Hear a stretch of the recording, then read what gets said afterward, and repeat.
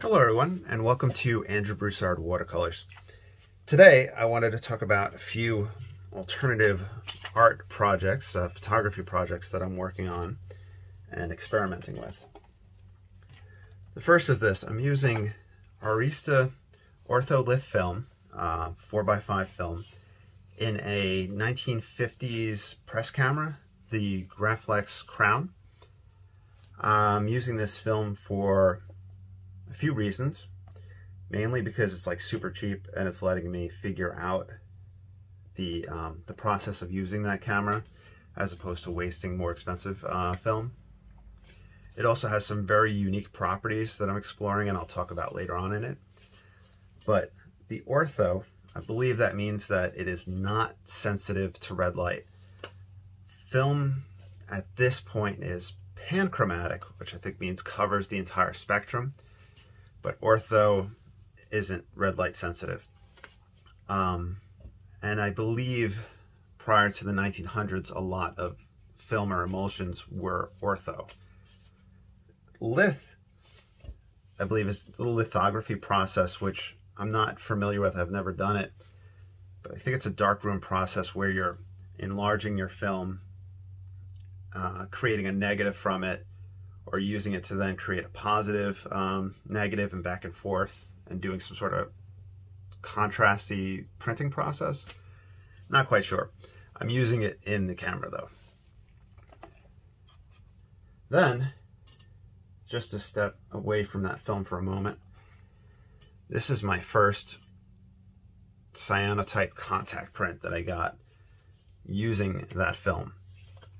So what I did was I took my Stonehenge Aqua Hot Press. I coated it with my um, a mixture of arrowroot starch and boiling water. This was a sizing so that whenever I later coated it with my cyanotype chemicals, it would sit more on the surface of the paper as opposed to being absorbed in. And that, I believe, helped prevent uh, brush mark damage when applying the chemicals. And it also helped get the brightest whites possible.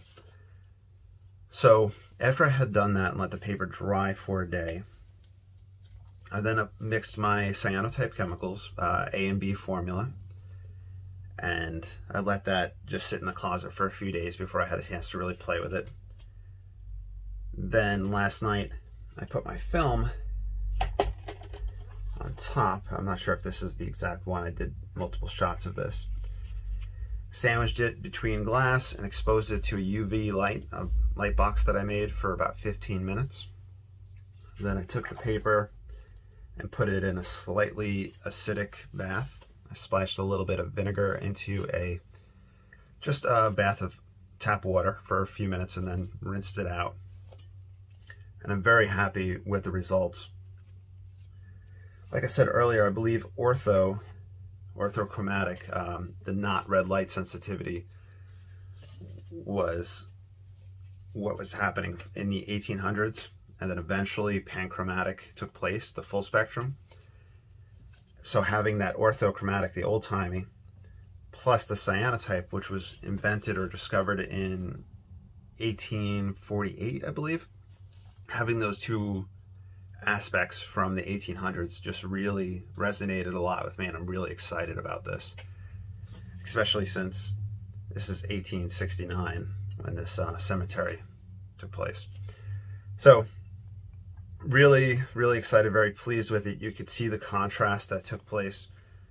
Um, and let me go back to the film. So I shot these out of the Graflex and I tried to process it as if it was a regular film. But in order to do that, I had to do a very weak, very diluted mixture of um, my developer.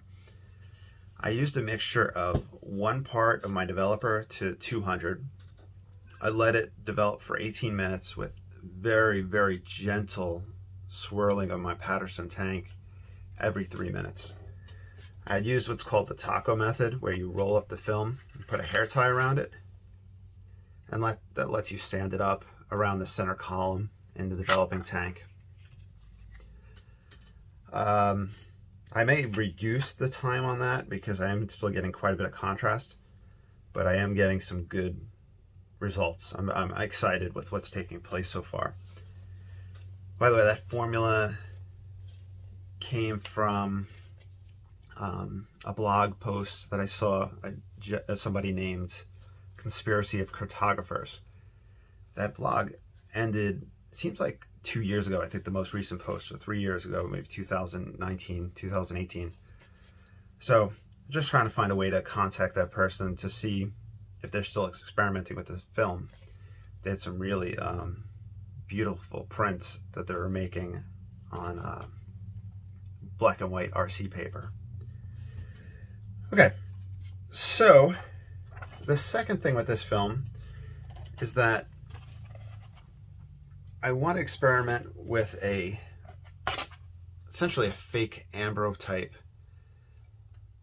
type of um, display.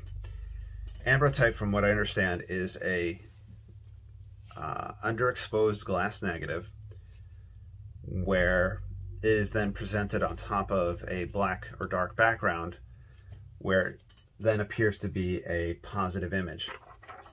Meaning, I'm going to take one that came out super contrasty. You can see how clear all this spot is right here and how dense this one is.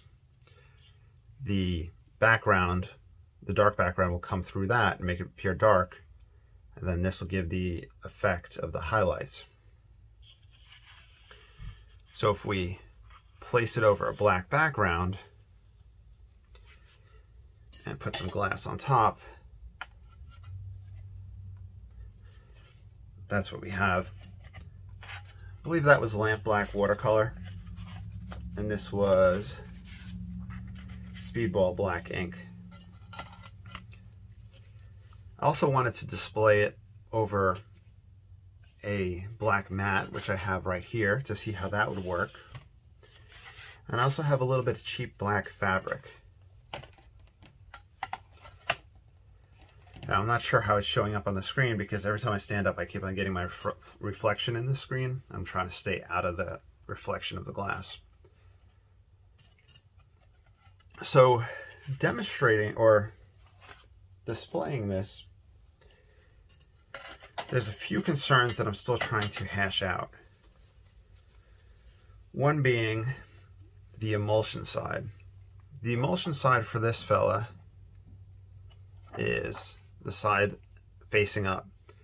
But in order to have the correct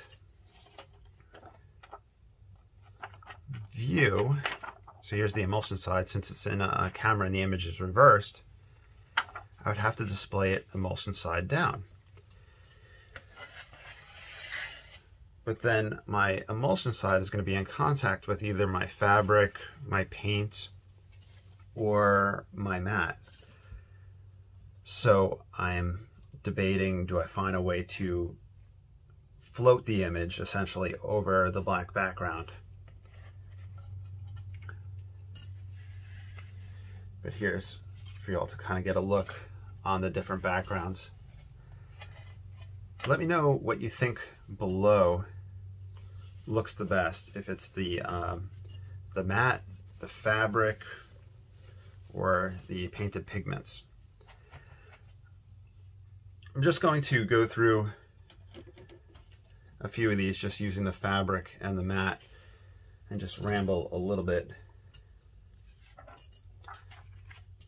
And then we'll look at these as we do that. This is emulsion side up.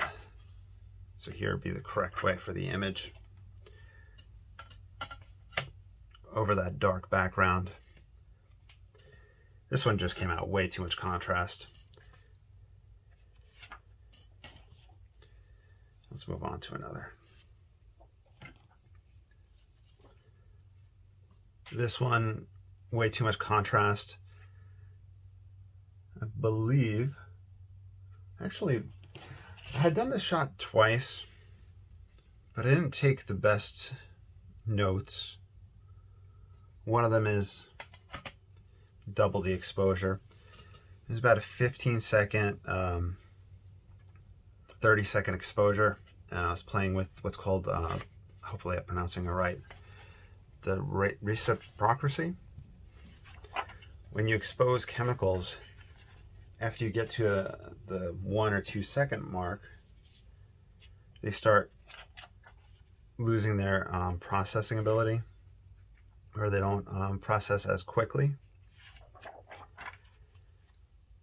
So you have to account for that by adding more time.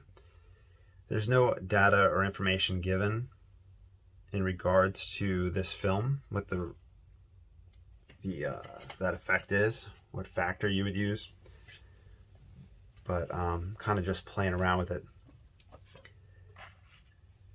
Then a lot of these I started just doing at a large aperture.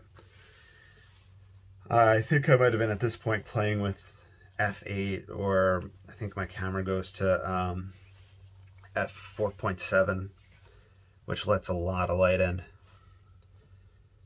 and um, I was experimenting with depth of fields where with the larger apertures larger openings you can focus on an object and then there's a range in front of it and behind that object which will diffuse it's um, depth of field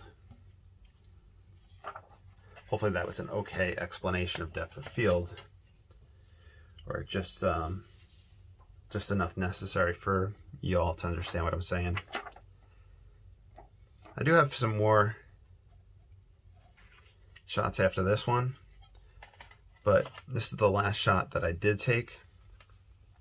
I was playing around with how um, the the writing from a tombstone or a sign or anything would show up on this type of film because of that contrast. This one did not achieve it. I believe we might say that this one was, well, if I hold it up to the light, I can see the writing there, but it's not showing through on this black.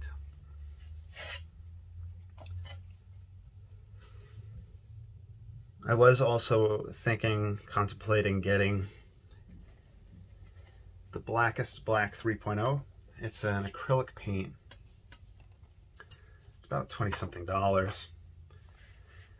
But um, it's super matte black. And I believe that might give it, I don't know if that'll give a better effect or not then comparing this black mat versus the fabric, we do have a difference in black. And that might give you all an idea.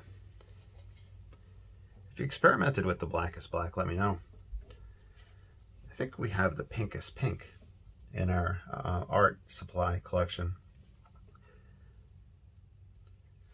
I think this shot is where I absolutely became amazed by the camera where focusing on the view screen, where you look on the back and you have the light shining onto the screen is creating the opposite upside down image.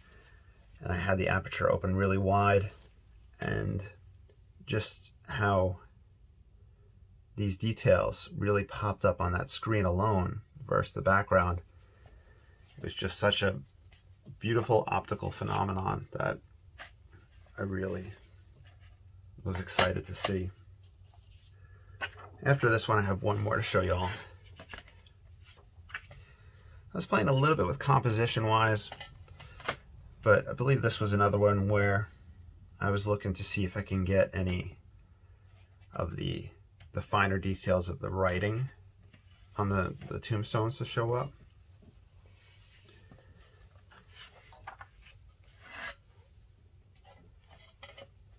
I'm thinking the black fabric might be the better way to go. But then, like I said, this is emulsion side facing the fabric, and I'm not sure how safe that is. I did contact the company that produces this and look around online. Films seem to be on a few different types of bases. I think they originally used uh, a nitrate type base, which was flammable, so they don't use that anymore. Then they started producing, I think, a safety film, which is was an acetate. But I was reading that the acetate can suffer from something called uh, vinegar syndrome. Not quite sure what that is. And then polyester film is apparently the way to go, the one that will be the most, have the most longevity. I think averages calculated at 500 years if display if um, preserved properly. Where it would be controlled humidity, it would be um, controlled exposure to light, etc.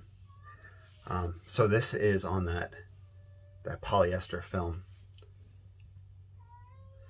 So I think displaying it, the film in it itself is a good choice. It's just now figuring out the emulsion and what it's in contact with. I think I have, yes I do. I have a black mat down here. We can see how that looks with the black mat because the glass wouldn't be pressing against it in that case. It'll press against a little bit here, but it was adhered to a background, or if there are spacers,